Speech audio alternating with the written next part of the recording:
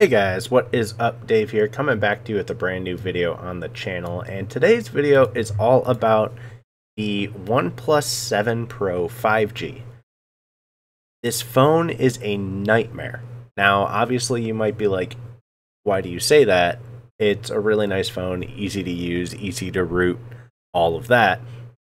This is a Sprint variant, so the GM 1925 very different phone in the aspect of wanting to root it. Sprint kind of just destroyed the operating system of uh, from OnePlus and made it far more difficult than it needs to be. It took me about two and a half days to figure out how to root one of these without causing a boot loop. No matter what I did, it would cause a boot loop. So, while I did find out there was an answer on like page five of a 10 page thread to my issue, I'm not going to, on XDA developers, I'm not going to sit there and read 10 pages of, you know, one post in a section of hundreds of posts to find an answer when someone could just answer my question in the question and answer section. Um, anyway, that's my little rant. Sorry about that. So to get started with this, we're going to start from the beginning. I'm going to flash this to Sprint's uh, Android 9 firmware. Then I'm going to use the Sprint Unlocker and then flash TWRP. So I'm going to have you guys come along for the ride, show you exactly how I did it, just in case anybody else has questions and needs them answered. So let's get into it. First thing you want to do is download this specific uh, Sprint Flash tool, which you want to run it. It takes a second. I don't know why it takes so long to run. I wonder if I can like... I can. There's nothing in it that's useful. Uh, uncheck SHA-256 check, and then you want to plug the phone into your computer while hold, while it's powered off and with both volume buttons held down. You'll see it's connected. You want to click the enum button and then hit start. And from here, it's going to flash brand new uh, OnePlus firmware for uh, Android 9.0. Now, the big thing you want to do here is this does take around 250 to 280 seconds worth of time. So that's like uh, four or five minutes. Towards the end of the flashing process, you want to be paying attention because if you're not, you're going to miss your ability to put it back in this mode for the sprint unlock uh, for the sprint variant unlock part of this because you don't want it to boot fully into the system. So once this is done, I'll come back and explain that part. So, like I said, it's going to take 250 to 280 seconds. Not going to make you guys sit here and watch that whole thing. So, I'm going to pause the recording and I'll be back in a moment. All right, it's 200 seconds, not 250. Whoops. So anyway, I'm holding the volume buttons right now. I think it's connected, but if it's not, I can simply unplug it from the computer, boot it to fast boot by holding volume down and power. Fast boot, bootloader, whatever, same thing. So I have it booting right now. Sorry, I don't have my camera to show this. And actually what I'll do is fast boot. And what so there we go. So you can close this. It's 208 seconds, depending on how fast your computer is. So at the moment, that's what I wanted. Fast boot devices. As you can see, I do have fast boot enabled. I'm in the bootloader and I cannot flashing unlock. Fast boot, flashing unlock. Not allowed. So, if I power it off, unplug it from my computer, go to power off in the bootloader, and go to my Sprint unlock, you'll see this is a custom OPS file that just enables OEM unlocking, which is why you don't want to boot into the system. I wish I understood how to make these custom files. That would be fun. I wonder what else you could do. Anyway, uncheck SHA-256. And this is again one of those situations where you have to pay attention because you need to reboot to the bootloader immediately. Do not let the phone boot into uh, Android or else you're going to have a bad time. So, I have the phone completely powered off. I'm going to hold down both volume buttons uncheck SHA-256 check, plug it in. As you can see, it's connected. I'm going to hit start. This only takes like 10 seconds, if not less. So by the time it says um, download complete, start holding your down arrow. Or your volume down, sorry. Come on. Oh, no! Ah, crap. I just... I put it in the wrong language. I have no idea what I'm doing.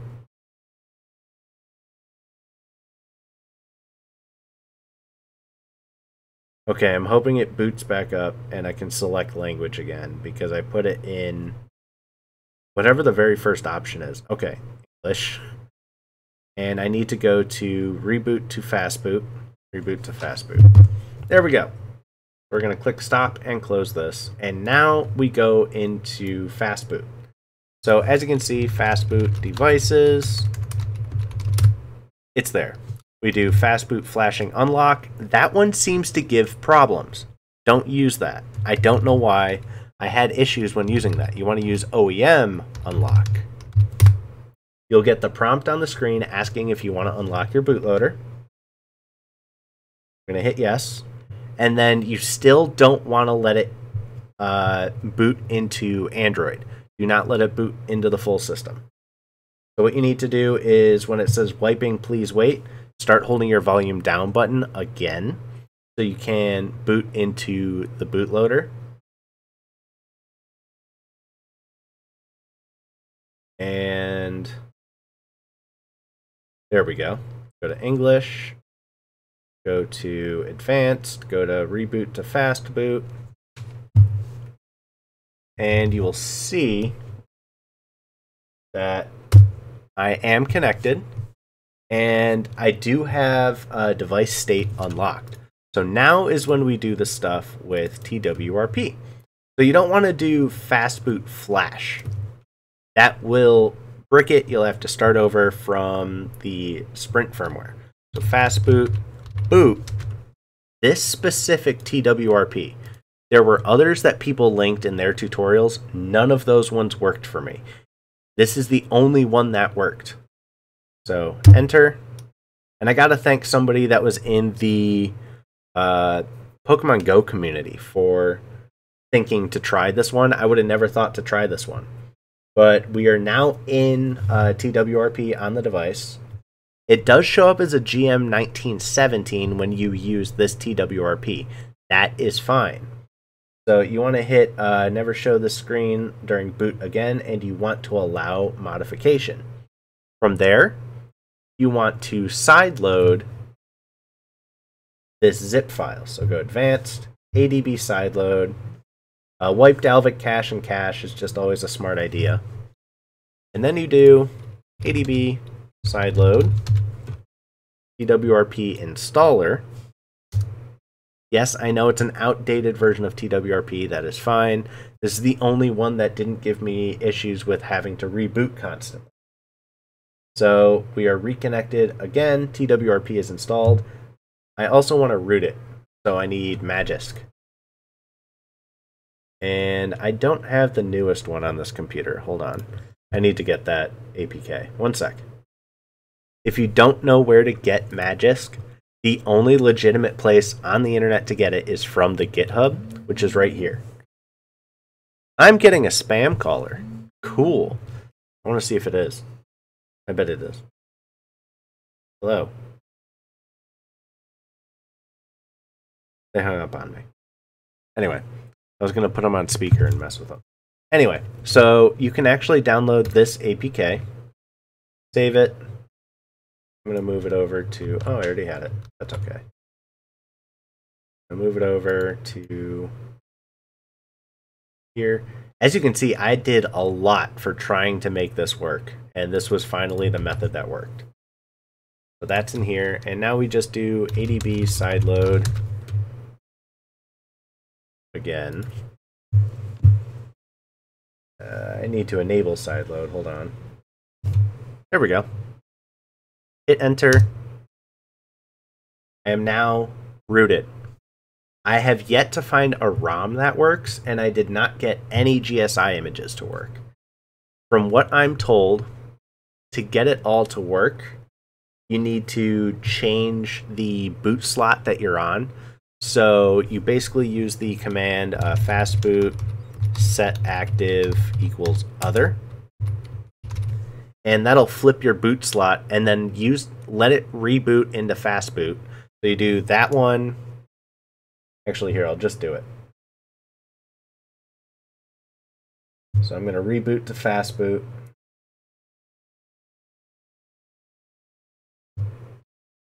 Do not install TWRP as a system app. That gets really annoying, trust me. So once you're in Fastboot, as you can see, if you are having issues booting, what you can try is Fastboot set active equals other. And I was on slot A, it now moved me to slot B, so I can try to boot it from there. If that doesn't work, um,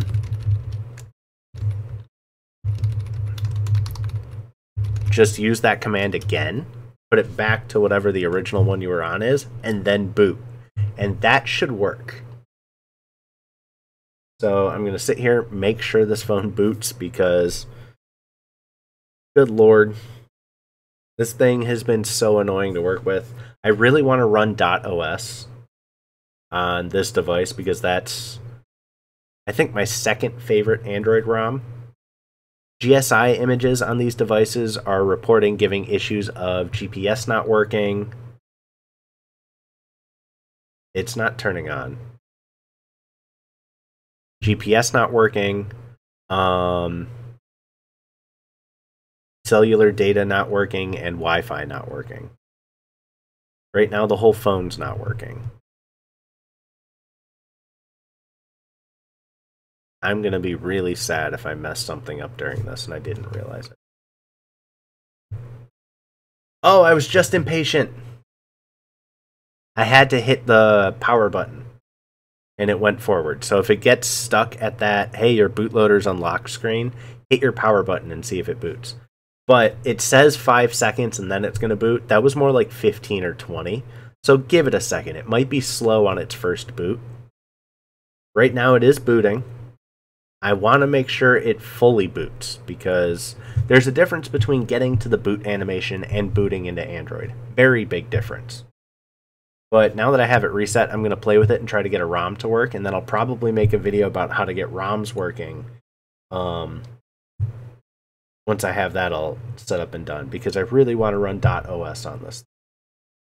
Or I'll just leave it, because realistically, uh, OnePlus's operating system is fantastic. So please boot. Oh, hey, speaking of which, while I'm waiting for this thing, I made a new Twitter. My old Twitter I lost access to because the email domain and email do not exist anymore. So I had to make a new one. And I made one that's more of a themed account. I called it Idiots of eBay. And the whole point of this Twitter account is just telling quick stories once, twice, three times a day of the people I deal with on eBay, Facebook Marketplace, Swappa, OfferUp, um, in person, just telling quick stories in Twitter posts. And it booted. As you can see, it's GM1925. It's reading correctly. It's booted. Should work. and it's all set to go. But that Twitter page, if you want to follow it, I'll leave the link in the description. Um, Let's get started. This device features TalkBack, a navigation feature for the visual challenge. Turn on TalkBack Prep. You're not as good as Siri. Stop trying. But yeah, if you want to follow that Twitter, that'd be awesome. Share my tweets. I think it's going to be a fun Twitter to have. Eventually, I'll integrate like uh, screenshots and stuff. Maybe I'll do short videos of uh, some of the conversations and just do some rants. And that's probably where I'll start posting my uh, YouTube rants and stuff like that. So, anyway, talk to you guys later. Hope you guys enjoyed the video. And I hope this helps somebody because, oh my god, this was a process to figure out. Talk to you later. Peace out.